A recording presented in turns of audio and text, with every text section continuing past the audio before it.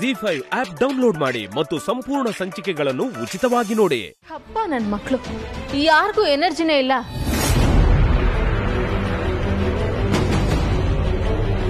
ಇಲ್ಲೇ ನೀನಾದ್ರೂ ಎದೇಳು ಒಬ್ರಾದ್ಮೇಲೆ ಒಬ್ರಾದ್ರೂ ನುಡಿಸ್ರು? ನೋಡಿ ರೆಸ್ಟ್ ತಗೊಂಡ್ ರೆಸ್ಟ್ ತಗೊಂಡ್ ನುಡಿಸಿ ಹಾ? ಹೇಳ್ರೋ? ಶಿವಾನಿ ಏನಮ್ಮ? ನೀನ್ ಏನ್ ಮಾಡ್ತಾ ಇದ್ಯಾ? ಅದು ಅಮ್ಮ ನಾನು ರೂಮಲ್ಲಿ ಶಿವನ್ನ ಹೊಲ್ಸ್ಕೊಳ್ಳೋದಕ್ಕೆ ಪ್ರಾರ್ಥನೆ ಮಾಡ್ತಿದ್ದೆ. ಅದೇ ಸಮಯಕ್ಕೆ ಯಾರೋ ಒಬ್ಬ ಪುಂಗಿ ನುಡಿಸ್ಕೊಂಡು ಬಂದ. ಶಿವ ತಾಂಡವ ಮಾಡಿ ಶಿವನ ಒಲಿಸ್ಕೊಳ್ಳೋಣ ಅಂತ ಡಾನ್ಸ್ ಮಾಡ್ಕೊಂಡ್ ಬಂದೆ ಅಷ್ಟೇ.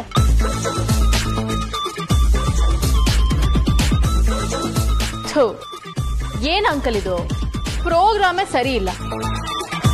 ಅತ್ತರಿ ಸರಿ ಚಿಕ್ಕಮಾವ ಇವನ್ನೆಲ್ಲ ಯಾಕೆ ಕರ್ಸಿರೋದು? ಮನೆಯಲ್ಲಿ ಹಾವು ಬಂದಿತ್ತು. ಅದಕ್ಕೆ ನಾನೇ ಕರೆಸ್ತೆ ಓಹ್ ಹೌದಾ?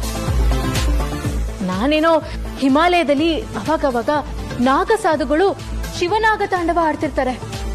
ಅದು ಅನ್ಕೊಂಡೆ ಅಷ್ಟೆ. ಅಯ್ಯೋ, ಪಾಪ.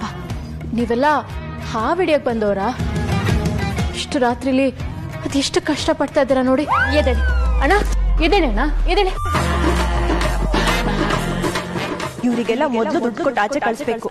ಇಲ್ಲಾಂದ್ರೆ ಇನ್ನೇನ್ ರಂಪರಾದಂತ ಆಗುತ್ತೋ. ನಿಮ್ಮನ್ನೆಲ್ಲ ನೋಡಿದ್ರೆ ಅಯ್ಯೋ ಪಾಪ ಅನ್ಸ್ತದೆ. ತುಂಬಾ ಬಡತನ ಅನ್ಸುತ್ತೆ. ಹಾ? ಶಿವಾನಿ ತಗೋ. ತಿಜೋರಿಯಲ್ಲಿ ಕಾಸಿದೆ. ಅದ್ರ ಸ್ವಲ್ಪ ತಂದು ಇವರಿಗೆಲ್ಲ ಕೊಟ್ಬಿಡು. ಹಾ. ಅಮ್ಮ ನಾನಾ? ಹಾ ಹೌದು. ಈ ಮನೆ ಸೊಸೆ ನೀನೇ ಕೊಡ್ಬೇಕು. ತಗೋ. ಸರಿ.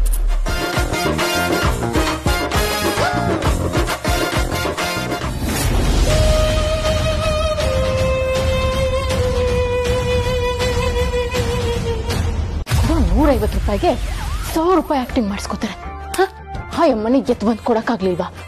ನನಗೆ ಬೇರೆ ಡಾನ್ಸ್ ಮಾಡಿ ಸುಸ್ತಾಗಿದೆ. ಈ ಕೆಲಸನೂ ನಾನೇ ಮಾಡ್ಬೇಕಾ? ಅಷ್ಟು ಮೆಟ್ಲು ಹತ್ಕೊಂಡ್ ಬಂದು.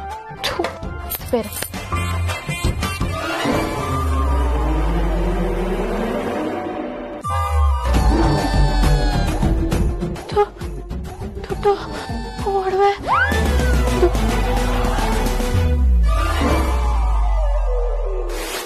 ಯಜಮಾನ್ರೆ ಮನೆಯಲ್ಲಿ ಯಾವುದು ಹಾವಿಲ್ಲ ಅಂತ ಕಾಣಿಸುತ್ತೆ. ಇದ್ದಿದ್ರೆ ಇಷ್ಟೊತ್ತಿಗೆ ಹೊರಗಡೆ ಬರಬೇಕಾಗಿತ್ತು. ಅಲ್ಲ ಇವರೆಲ್ಲ ಹೋದ್ಮೇಲೆ ಹಾವು ಬಂದ್ರೆ ಏನ್ ಮಾಡೋದು? ಶಿವಾನಿ ದುಡ್ಡು ತರಕ್ ಹೋದವಳು ಇನ್ನೂ ಬರ್ಲಿಲ್ವಲ್ಲ? ಅವಳಿಗೆ ಲಾಕ್ ತೆಗಿಯೋದ್ ಗೊತ್ತಾಯ್ತೋ ಇಲ್ವೋ? ಹೋಗಮ್ಮ ಹೋಗೋಳನ್ ಕರ್ಕೊಂಡ್ ಬಾ. ಹಾ ಸರಿ ಅತ್ತೆ. ಎಲ್ಲಾ ಸಂಚಿಕೆಗಳನ್ನು ಉಚಿತವಾಗಿ ನೋಡಿ ಜಿ ಫೈವ್ನಲ್ಲಿ ಈಗಲೇ ಆಪ್ ಡೌನ್ಲೋಡ್ ಮಾಡಿ.